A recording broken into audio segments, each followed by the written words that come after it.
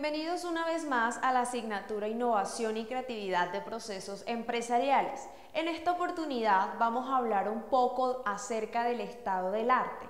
Bien, ¿qué es el estado del arte? Es un tipo de investigación documental acerca de la forma en que diferentes autores han tratado un tema en específico en otras palabras, es la búsqueda, lectura y análisis de la bibliografía encontrada en relación con un tema que se quiere investigar. Este estado del arte es un poco más eh, usado cuando vamos a realizar una tesis o cuando estamos realizando un trabajo investigativo. Bien, este ejercicio da cuenta de que se ha hecho sobre una temática particular, hasta donde se ha llegado, qué tendencias se han desarrollado, cuáles han sido sus productos y qué problemas se siguen tratando o estudiando en ese campo. Al realizar este ejercicio, el estudiante consolida un conocimiento crítico basado en la lectura y el análisis de, diferentes tipos de textos. Pero ¿qué tiene que ver todo esto del estado del arte con la asignatura Innovación y Creatividad Empresarial? Bien, la respuesta es la siguiente. Si yo voy a innovar, si yo voy a ser creativo y tengo que, previo a esto, documentarme, investigar y analizar, citar distintas fuentes bibliográficas y distintos textos para poder innovar. Yo siempre explico este tema de la siguiente manera. Por ejemplo, los automóviles, los vehículos, los carros se crearon hace más de 100 años. Entonces, si yo, lo que, no, ¿qué podemos hacer nosotros en cuanto al estado del arte, en cuanto a los vehículos o a los carros? Si nosotros investigamos y seguimos eh, citando otras fuentes, viendo distintos autores, lo que podemos hacer desde el punto de vista de la innovación y la creatividad es usar este estado del arte para implementar algo que, es, que los carros no tengan, implementar un nuevo, un nuevo eh, producto adicional o que este contenga algo que sea totalmente innovador, porque ya no hay nada de innovación o creativo al decir que voy a crear un carro porque ya los inventaron hace 100 años atrás. Entonces yo puedo utilizar este estado del arte, más bien lo puedo utilizar como, como forma de poder investigar y potencializar esos vehículos, agregarle algún artículo adicional a los carros que pueda ser totalmente creativo e innovador. Por eso es la importancia del estado del arte dentro de esta asignatura. Entonces, ahora conozcamos algunas características de este estado del arte. Bien, Primero podemos decir que no es una lista de texto con resúmenes cortos de cada uno, eso no es un estado del arte. Y es lo que no, usted no debe hacer. Usted lo que va a hacer es leer y eh, a partir de todas las lecturas y de los distintos informes y textos y contenidos que usted eh, consiga en, las distintas fuentes de donde, de donde las consiguió, elaborar un informe con sus propias palabras a partir de lo que ya encontró. Por eso nos dice que no es una lista de textos de resúmenes cortos. Eso no es. Bien, otra característica es que no se debe copiar directamente los fragmentos de los textos consultados, es decir, el corta y pega está prohibido en el estado del arte. Lo importante es seleccionar y analizar aquellas partes que usted considera relevantes para su investigación.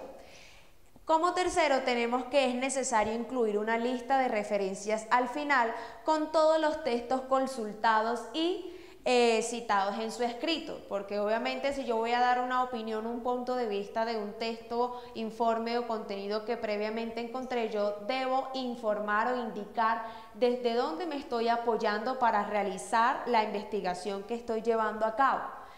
Otro dice que es necesario establecer parámetros de descarte y de inclusión para todos los textos que estamos citando. Continuemos. Bien, textos encontrados con el fin de hacer la búsqueda un proceso sistemático y replicable, es decir, que otros puedan claramente utilizar este, este trabajo investigativo que usted está realizando y puedan obviamente continuar o pueda servirle a generaciones futuras. Bien, pero ¿cuáles son los objetivos principales de este estado del arte? Conozcámoslos delimitar el objeto de estudio y las relaciones con otros objetos de estudio, Esto permite identificar subtemas pertinentes y que estén proporcionalmente relacionados.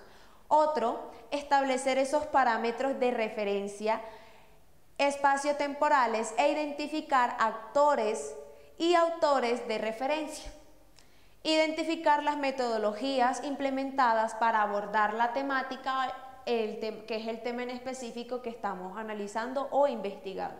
Ampliar el conocimiento sobre un tema con el fin de aportar argumentos válidos que contribuyan a justificar y definir el alcance de la investigación.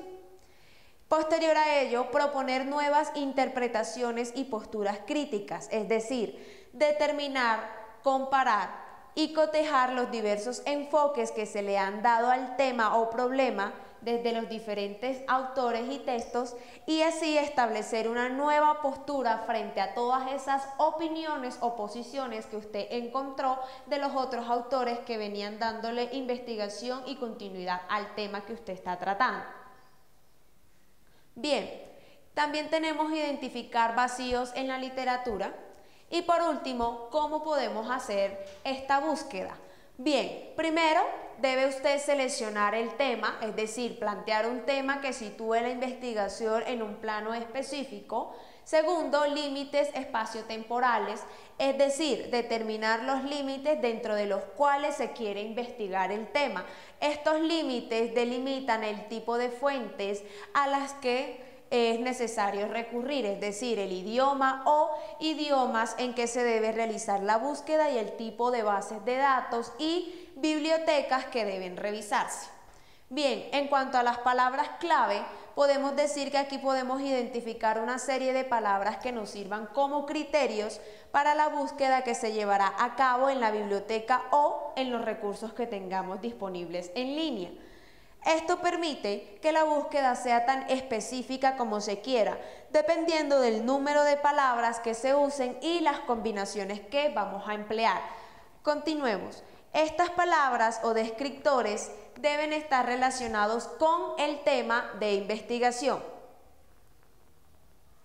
Bien, en cuanto a los subtemas, tenemos identificar estos subtemas y subdisciplinas relacionadas con el tema de investigación esto lo, lo que nos va a permitir es ampliar el rango y los lugares de búsqueda. Adicionalmente va a facilitar el proceso de relacionar y de agrupar eh, los textos. En cuanto al ejemplo, les he traído este ejemplo aquí a colisión, entonces podemos empezar hablando con un tema que es la relación entre el patrimonio arqueológico y las comunidades indígenas colombianas en el marco postconstitucional. En cuanto a los límites espaciotemporales, tenemos que Colombia, que será Colombia después de la Constitución de 1991. Es decir, a partir de aquí es que usted va a hacer su investigación, a partir de esta este, después de esta fecha. Bien, en cuanto a las palabras claves, patrimonio arqueológico, indígenas, Constitución de 1991, arqueología y por último Colombia. En cuanto a los subtemas, tendremos la arqueología indígena, la identidad cultural, el patrimonio cultural y por último la legislación colombiana. Bien. Y por último la legislación colombiana. Bien chicos, en esta oportunidad creo que podemos dejar hasta aquí en cuanto al estado del arte. Nos vemos en la segunda parte de este video donde vamos a continuar con toda la explicación acerca de los tipos de búsqueda que podemos utilizar en este proceso de estado del arte.